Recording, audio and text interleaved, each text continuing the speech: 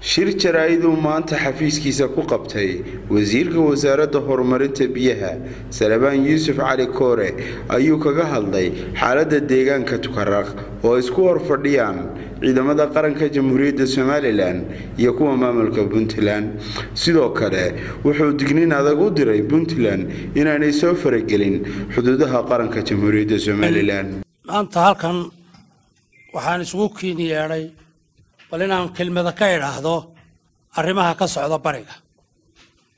Ama deegaamada tukaraq iyo wixii la xidhiidha. Waxaad og tihiin in doorashada madaxweynaha somalilan doorashadii dhacday oo aan hadda laba bilood ka soo wareegin in laga doortay ilaa xalin ilaa taleex ilaa tukaraq ilaa laascaanood ilaa badhan in madaxweynaha codka uu maanta ku fadhiyo uu yahay cod dadkaasi ay ku doorteen iyagoo maankooda iyo maskaxdoodaba qaba. Waana wax caalamiya oo la og yahay oo sanaadiiqda aanu xalin iyo kacayo ka keennay ee lagu doortay muuse biixi. Waxay ka yimaadeen meel qardhow jirta afartan kilomitr gorowana u jirta soddon kilomitr ayaa dadku ka codeeyeen iyagoo maankooda qaba iyo maskaxdooda. Waxaa taasi tusaysaa in dadka deegaankaasi ay doorteen ay doorteen inay somalilan ka mid noqdaan. Waxaan ogahay dadka ku nool boocame iyo dadka ku nool taleex iyo dadka fallaydhyaale ku nool iyo kuwa tukaraq ku nool iyo kuwa godqaboobe ku nool.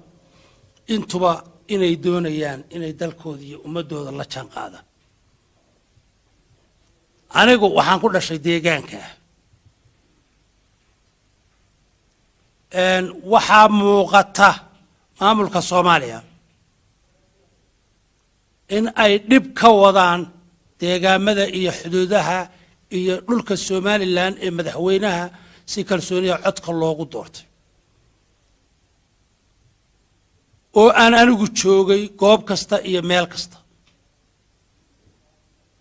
Arrimaha waxaan is leeyahay waxaa la rabaa dhibtaa loo samaynayaa in khilaaf siyaasiya oo gudahooda ah lagu xallilo ama ha noqoto mid xamar ka socota ama ha noqoto mid gorowe ka socota oo dadka la rabo in lagu jaahwareeriyo iyo kororsi iyo soo noqosho madaxeed oo la rabo in dadku lagu jaahwareeriyo oo ay ku helaan.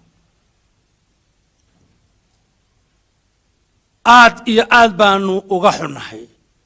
Ciidanka somalilan xalin buu joogaa kacayuu joogaa taleex buu joogaa.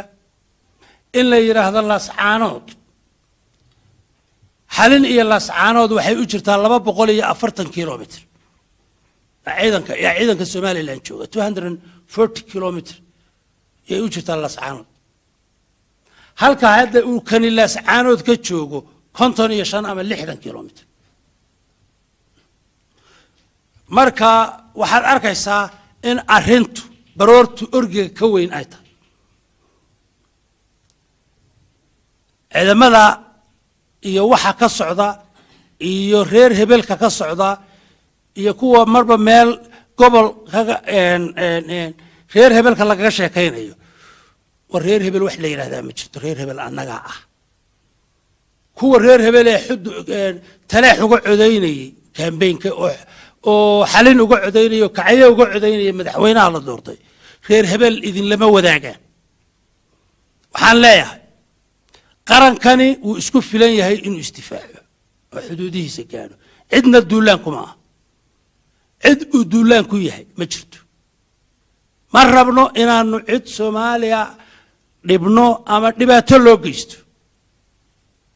Ma doonayno inay dadkayagu ku sii hadrhaan saddex iyo shan iyo labaatan lix iyo labaatan sannadood baa sida ay waxay noqdeen dadka ugu hooseeya marka social serviceka loo loo eego waxbarta ama biyo hela ama caafimaad hela waxaana waxaa ka mas'uulaha dad xuduudka gorowa ku ilaashanaya danaha dadka deegaankaa degan